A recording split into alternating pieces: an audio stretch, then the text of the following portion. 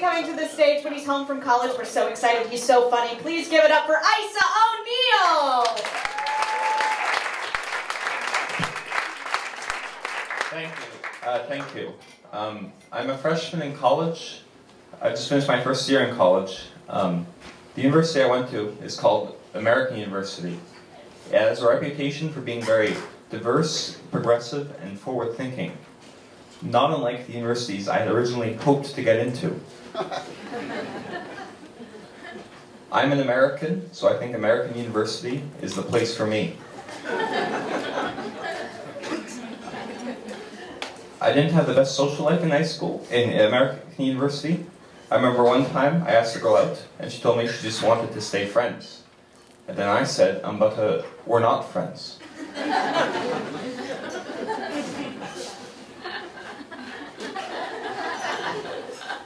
I asked the girl out, and she told me she'd think about it. It's been almost a year now. She must be very thoughtful.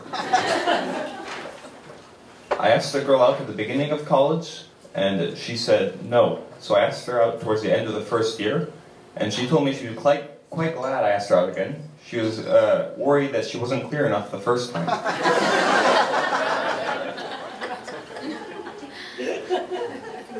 I was at a party, and a girl came up to me, and she told me she was incredibly drunk, and uh, she liked to have sex with the first guy she saw.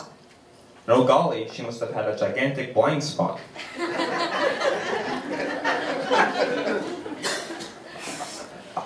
I and a girl were walking and talking, and we were getting to know each other. And one of the things I got to know about her is she really likes to walk alone.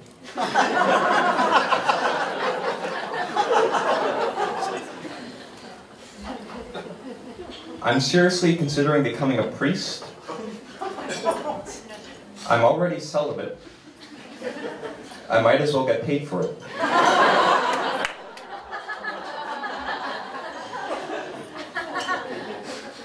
Uh, towards uh, the end of high school, I was worried I wouldn't get any dates for the senior prom, uh, so I sent out an email to the girls in my school, asking them out. All 1,600 of them.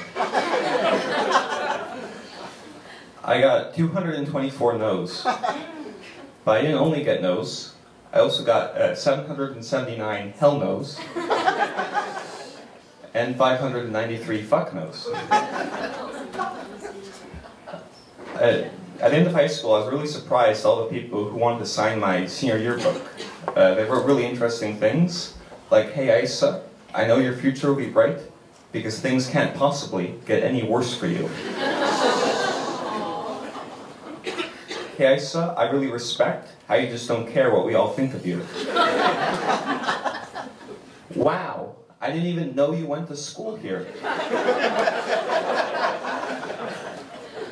Hey Aise, we've known each other from kindergarten all the way through high school. Fine. And Aise, we're all very glad to see you've gotten as far as you did, despite the autism. And my math teacher wrote, I Aise, you great in my class. I don't know why everyone hates you. And my gym coach wrote, I will always remember you, Aise. You were, the, you were the only student I ever had to take notes during gym class.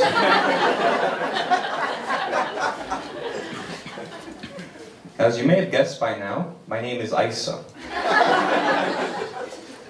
That was originally my father's name, but he changed it because it was hard to pronounce. And then he gave it to me.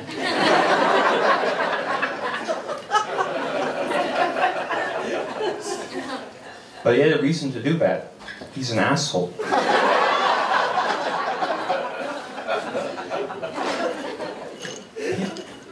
People ask me, hey Aise, uh, we know you can't get a date, but do you have any friends?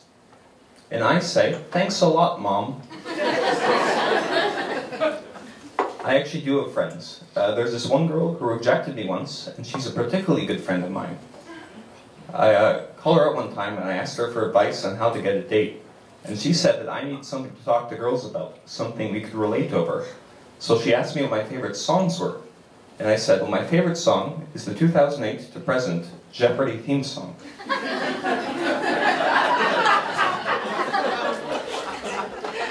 And my second favorite song is the 2001 to 2008.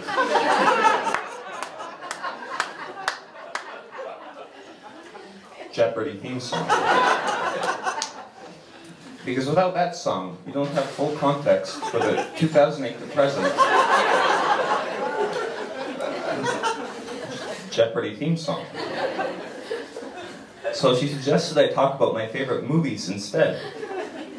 And I said, well, my favorite movies are uh, Predator, Predator 2, Alien, Alien versus Predator, and Alien versus Predator 2. So she hung up on me. I have another friend, we're very close. I texted her once. I wrote, Hey Christina, we've known each other for a while now, and I feel it's about time for me to tell you something. Uh, Christina, I love you. And she texted back, Who are you?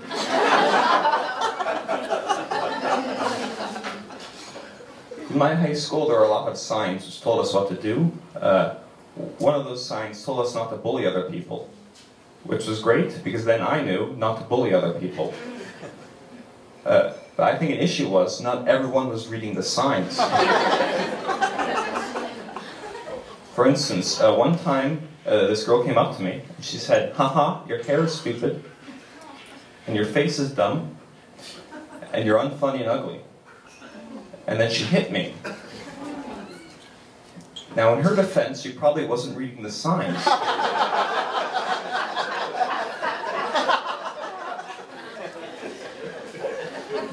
But at the same time, that's not really how you expect your math teacher to behave. You have been an above average audience.